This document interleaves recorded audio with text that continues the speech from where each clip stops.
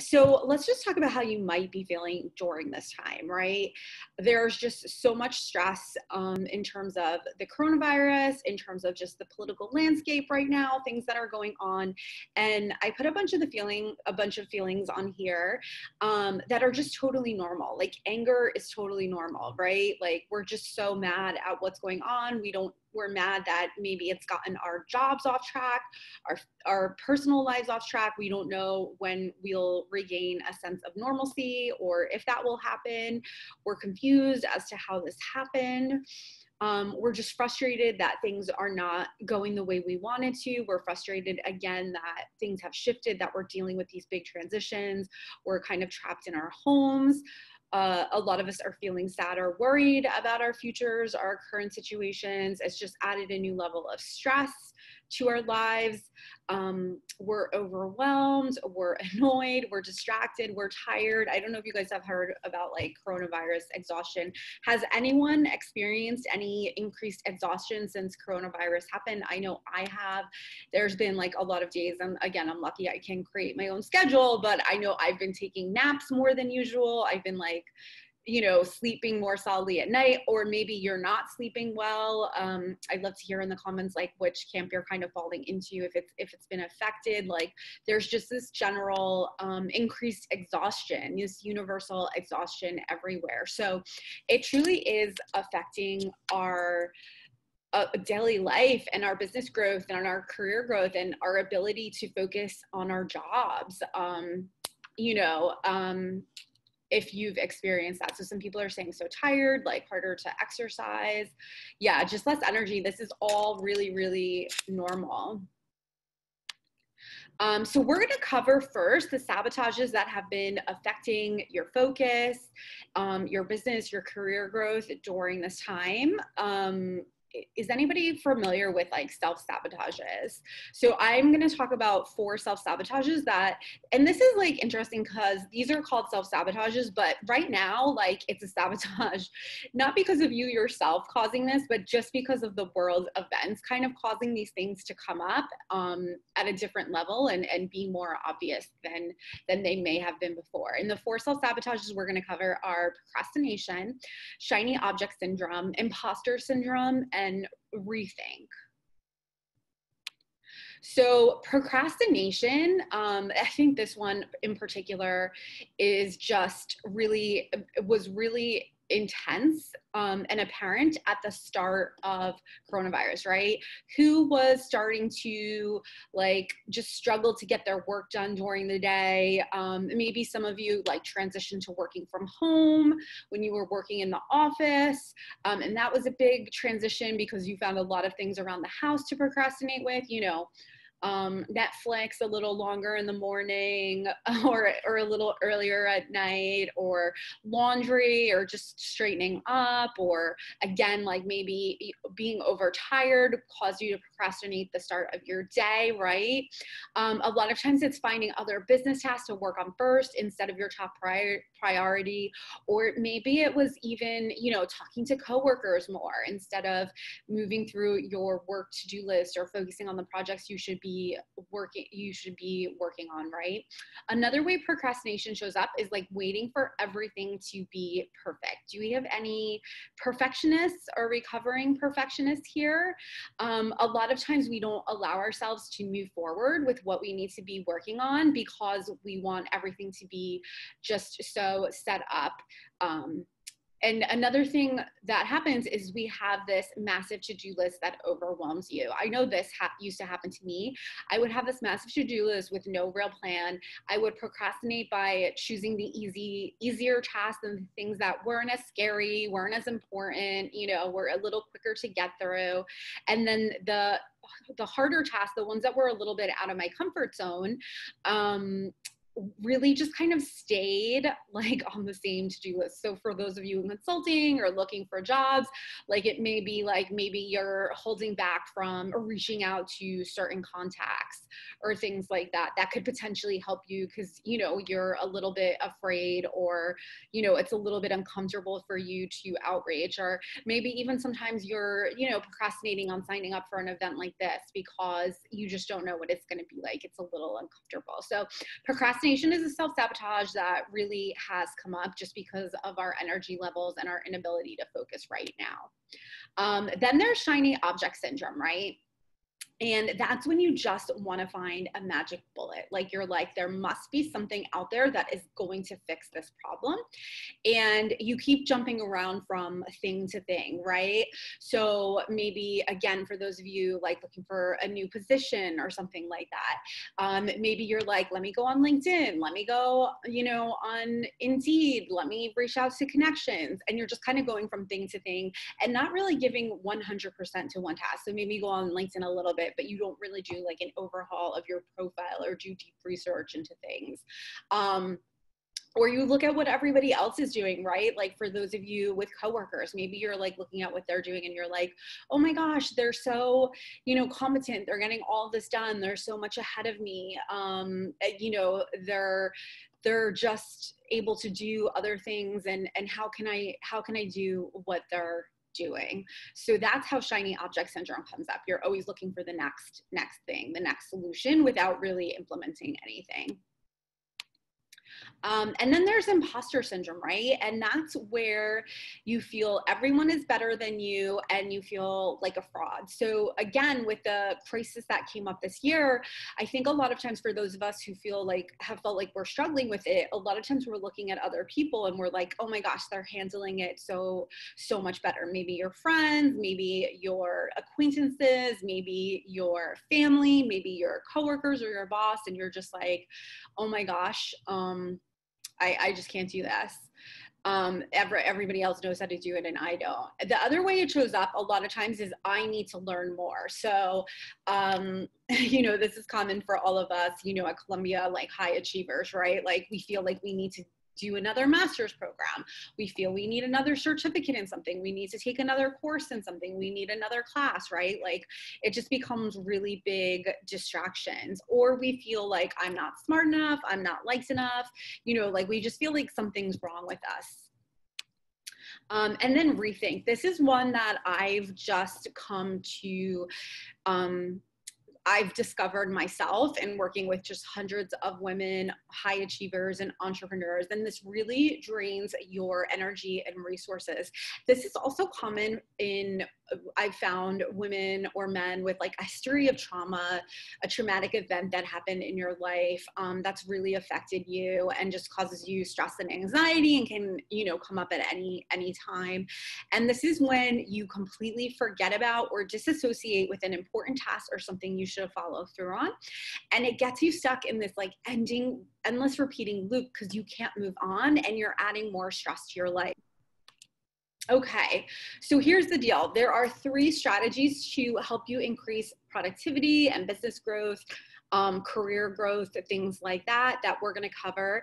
And that's clear goal setting, that's a structured schedule, and that's the RSO system, right? And that's where you remove, systematize, and outsource things.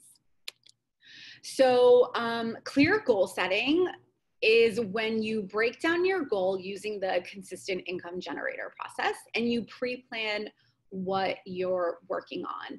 And basically, because I really work primarily with entrepreneurs, um, the goal, the constant income generator process, which we're going to get into, gives you a clear picture of your big goal income for the year. And for you guys, I mean, I would be interested in thinking like if you guys are not focused on an income goal, right? Um, is there another goal that you're really focused on in terms of your career? And I know it sounds like some of you might be focused on a new job um, or something like that. Um, and maybe you do want to add in some other income streams in addition to your job. Like maybe you want to start consulting on the side or things like that. Or maybe you want to like make investments. Um, so you can really like choose that goal and then break it down into more measurable measurable chunks and help you create that create that action plan. So this puts the focus on one income stream at a time or one project at a time to be quite honest so that there are no distractions and you know what business actions to focus on. Um, so for example if you are running your business right um, you might have a goal of like $80,000 in income or hopefully even higher. Um, so you would really break down like what does it take to make that make that money. And again, if you guys have a career and you guys are taking on extra side projects or consulting, again, like how many consulting projects do you need to take on? How many consulting clients do you need to take on? You know, how many investments do you need to make or how much do you need to profit at those, right? Um, and it's basically breaking it down into the different categories of how you would bring in that income. Maybe you're going to start to get training opportunities or um, workshop opportunities or expert speaking opportunities. All of you are extremely talented and can for sure take advantage of additional opportunities besides your work. Like I said, even for me as a social worker, I found a ton of ways to um, create contracting positions and um, consulting positions and things like that for a career that's not even common. So here I give an example of if you're, you know, a business owner, a service provider, a contractor, a freelancer, or someone like that. Um, you know, you might want to find you have this income goal for the year, and then you would break it down to 10 clients at $5,000. If you're running a group or a workshop or something like that, maybe it's 20 group members at $1,000. Um, and then, you know, very common in my profession is creating courses, creating content that you can sell over and over again. So maybe in addition to that, you would need 100 courses sales at $100. So, what that does is it allows you to really say, okay, this is what I need to focus on at this point throughout the year. Um, and, and this is how I break down that process um, and then from there you you pre-plan what you're working on right? So you choose whatever income chunk you're working on. If you're working on again getting a new job position you would really focus on that. You would create a weekly action plan that aligns with your monthly goal. So for example if you're um, looking for a job um, or working on a career goal right? Like you can even do this for your career. Um, what's a project you're working on and what do you need to do to make it happen. Or maybe like you're looking to actually get a promotion towards the end of the year. So what do you need to focus on each month to make to get the get the steps into place so that you could apply for that like new position within your job? Or or um you know really advocate for yourself to get a promotion or to get a raise or something like that right so you would create a weekly action plan that aligns with your monthly goal and then choose three to five actions each week that are correlated with your goal and you want to be consistent so you know, again, just with some of you looking for new positions, looking for consulting positions, looking for jobs, like maybe one month, it's like, I'm going to solely focus on LinkedIn, right? And like one action might be like updating your profile. Another action might be like increasing your contacts by a hundred people. You know a third action might be um, reaching out to 20 20 contacts, right? Um, and really just being consistent with this. This might be things that you repeat every week, right? Look on, you know, look for look for a job on Indeed or whatever you use for looking for a job. Um, look for a job, find, you know, 10 jobs to apply to, and just really making it really measurable because a lot of times we don't get very specific, we don't make things measurable, and then it's really hard to actually um, you know, make your goals happen, make them achievable. Um, so now we're going to talk about a structured schedule, which is what I what I was just kind of alluding to that it would come up. So there's three systems that work well with this three steps to this, which is having a master schedule, which is batching, and which is the Pomodoro method. And this really makes your life easier when you're going after goals or, or again, like if you've been really struggling even with your job right now, struggling to stay focused and and to take steps to move forward on things. Um, so the master schedule is when you plan out your week in advance, right? And you have things written down and you're consistent day to day. This can include outside work activities as well. Something like this, um, you would write down like wake up at 6 a.m right? Breakfast at 6.30 um, you know whatever workout at 7 a.m you know personal development reading at like 8 a.m or whatever until you get your your workday started then obviously you can map out the hours of like your work as well. So for me just um, you know being an entrepreneur like i will have different categories that I, I have in my master schedule. So i will have things like client hours like clients can only book in during certain hours for me. They're usually tuesdays and thursdays that they could book in to talk to me. Mondays like my admin day and i try to break it down into different projects wednesdays like my team management day where i have like a, a team call with with whoever um, with my project manager who works for me and my admin and things like that. Um, and these things are consistent um, in the schedule every time. I might have like a content creation chunk of time where I'm working on things like presentations like this or sending emails to my list or creating social media content, right? And it's really so helpful to have this repeat every week as you can, as much as possible, right? So um, I know even one of my friends has just started doing that. This he works at Netflix, and like you know, he has certain days for meetings. He has on Wednesday he cuts off meetings you know, after half a day so he could do other stuff. You know, having email times is really important in this. Um, a lot of times we fall into the email trap where we're just checking our emails all day, which is okay. Also, who uses email as a procrastination or texting as a procrastination? I know I do. It just becomes automatic to check it and to reload it.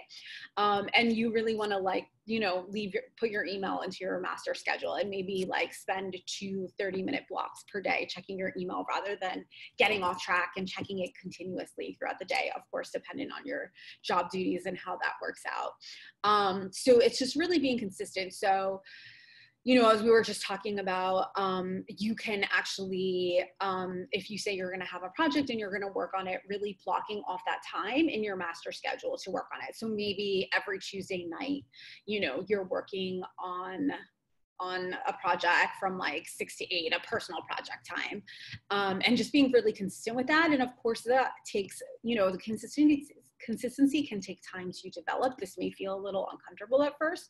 So start with one day per week. I'm someone who has to start a little slower with new habits. I can't like change everything overnight. I know there are other people who can.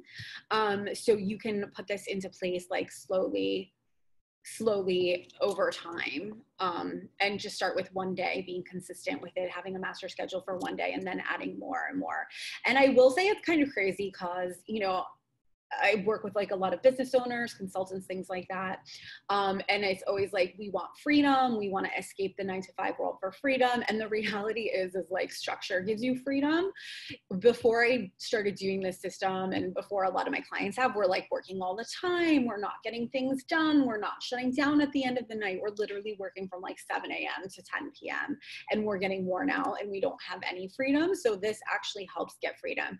Again, if you're outside of projects or work right now and looking into projects, I think this is also really important. Like I said, I've taken time off from work where I volunteered, and then when I came back, I didn't have a job, and I just like fell into the loop of I remember like one at one period when this happened, I was just like watching literally Dawson's Creek like all day, every day for like all the seasons. Um, and it's because I didn't have a schedule, like I didn't have to have a schedule. Um, so again, like you will want to put in things like when you're looking at jobs and be as specific as possible. So maybe put in like LinkedIn time in one section and then put in like times where you're scheduling coffee chats or connection calls with people, um, times where you're outreaching to people to just build relationships again and pitching yourself or times when you're doing job applications um, you can you want to schedule that all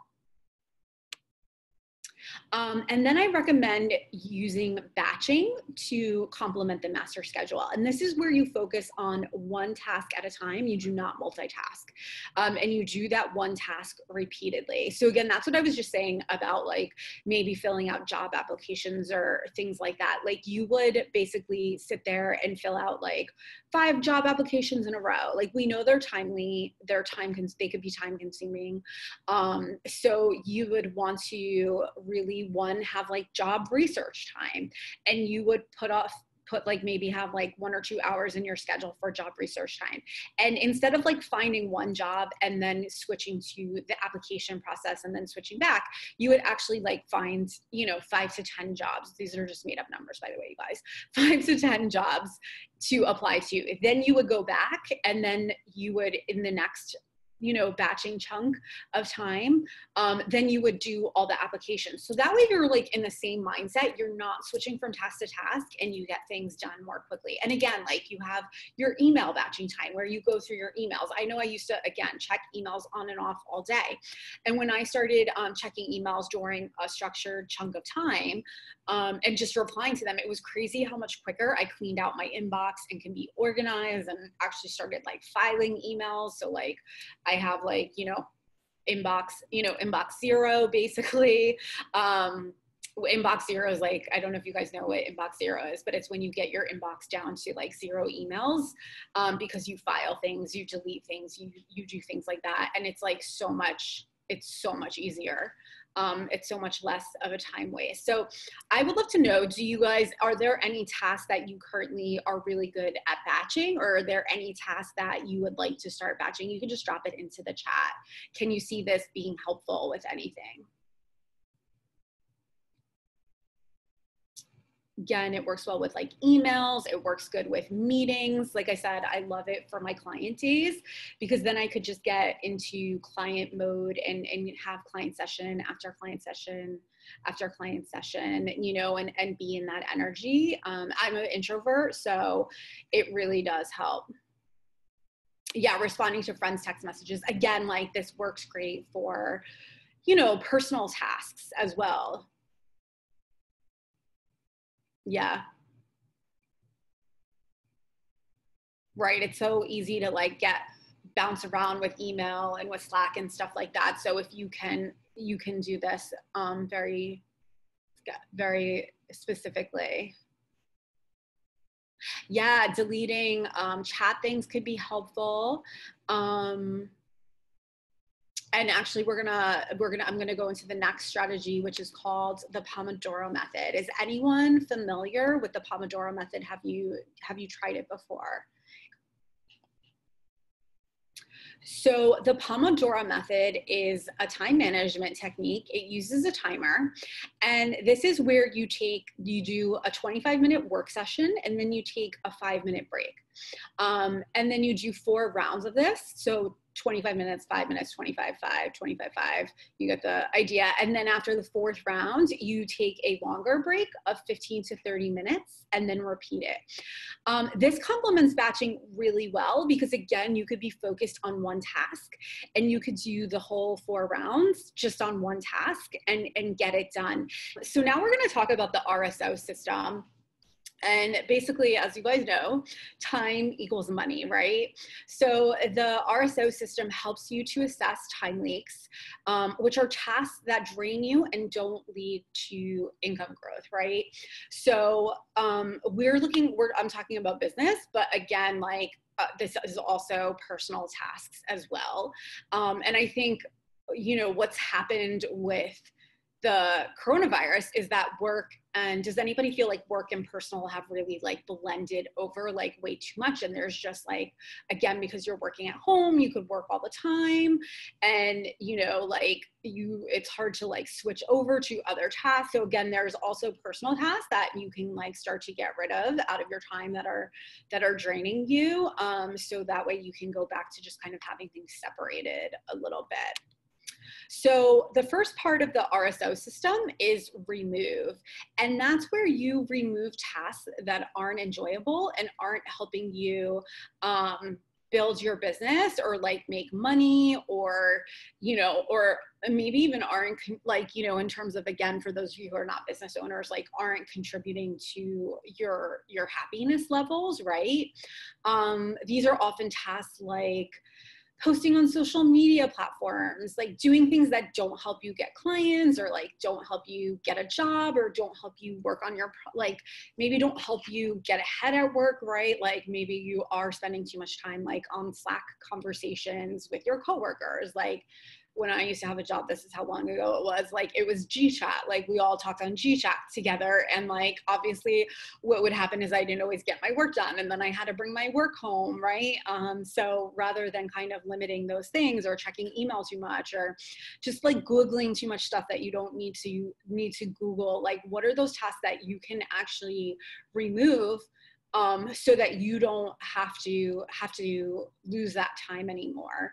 Um, so these are absolutely just looking at things again in your personal life like you know maybe you even at home right? Like you know this could be if you have a partner if you have roommates um, really looking at what do you need to do? Like can you split things up um, better? Like what tasks can you remove? Like if you just like really really hate cooking dinner like and your partner likes it more. Maybe you guys like split that like maybe they take that task over and you take over something else. Um, but just like really remove things that can absolutely be removed that aren't enjoyable. Or maybe you guys start to order like a meal planning service um, or just even like blue apron or something like that right? Like really think about that or like food shopping if you hate it you know that's become a big one right now.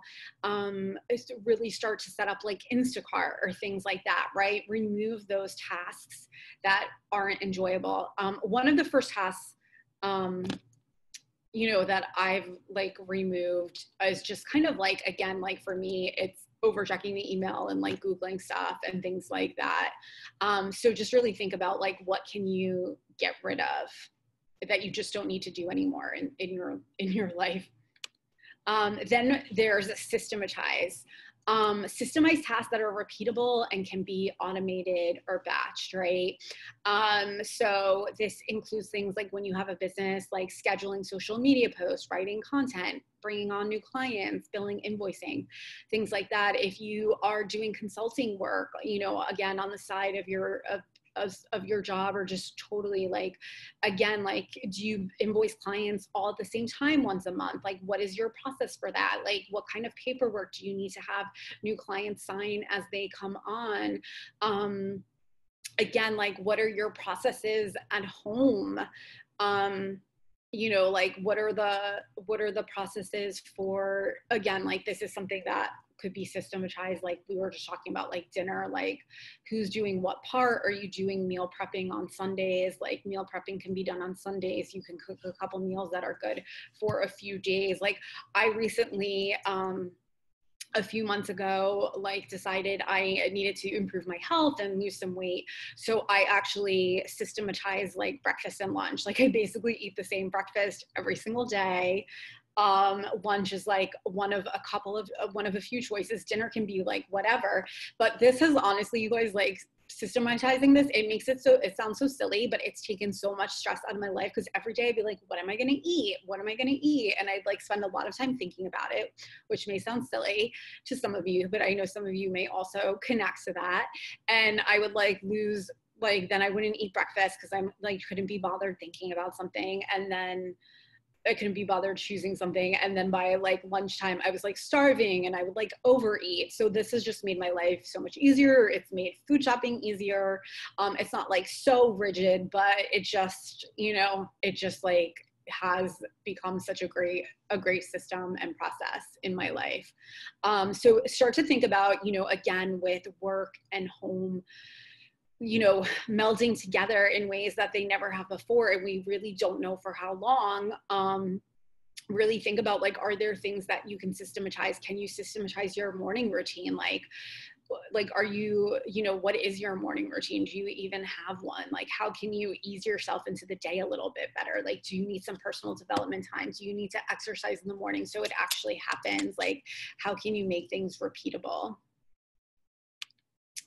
um, and then outsource. So outsourcing tasks um, is when you outsource tasks that are typically more affordable for someone else to do and are not relying on you. Like you don't actually have to do that task.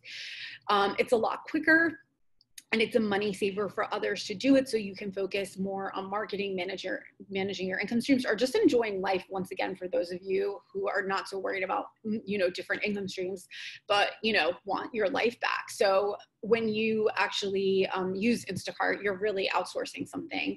When you, one of the first things I ever outsourced wasn't even a business thing. It was a personal, like I hired a cleaning person. Um, it changed my, once again, changed my life just once a month. But like, I hate hated cleaning. It takes me forever. Like, I'm not, I can't even clean to my own standards. So I outsourced it. And now, like, my apartment is really clean and stays really clean a lot longer rather than me doing it.